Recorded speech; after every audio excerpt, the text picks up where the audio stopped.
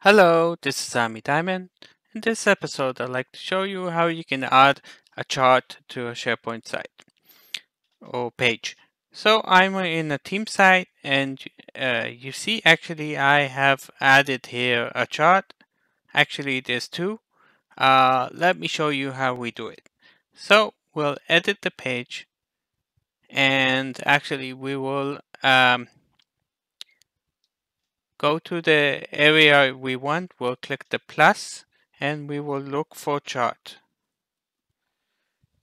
You see the quick chart is here and actually we can define more by clicking this uh, pencil. So uh, as I created it now, now let's see what we can do. So I click on the edit button and you see first of all uh, we can choose if we want a column chart or a pie chart you see this is uh, showing it uh, in this way. Uh, let's continue. Uh, when we created it the first time, actually, uh, we can uh, choose between entering data or getting data from a list or library. So in the first case, I choose entering data. I put a data label and I put a value. So you see US and $100, data label uh, I put something else. And uh, we can actually add another uh, value. You see, you see we can add maximum 12 so let's uh, do UK and let's uh, put a value of 300 and you see this is created. Now below uh, we can put the description for horizontal, so I put sales, you see, if I sales uh, by, so you see it's added, and also the vertical uh, axis, also I put here a dollar, but we can uh, uh, call it sales or something like that, anything we want. Uh, so this is the first way uh, doing it by entering data. Second way is actually to choose from a list. So I created a list. Let me first uh, go out and show you the list. I'll scroll down. I call it list chart. And actually I have um, a title.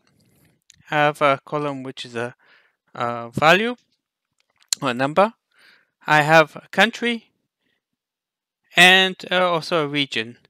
Uh, I tested it. Uh, the region is a text and so is the title.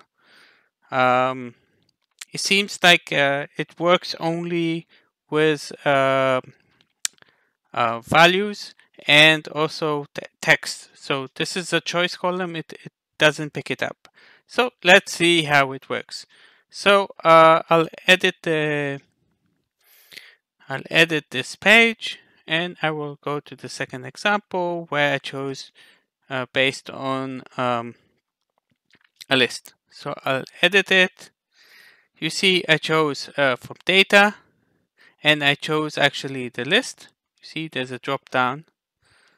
And actually second and now I need to choose the columns. So I chose uh, the sales is actually the the number and from the label I can choose either the title or the region.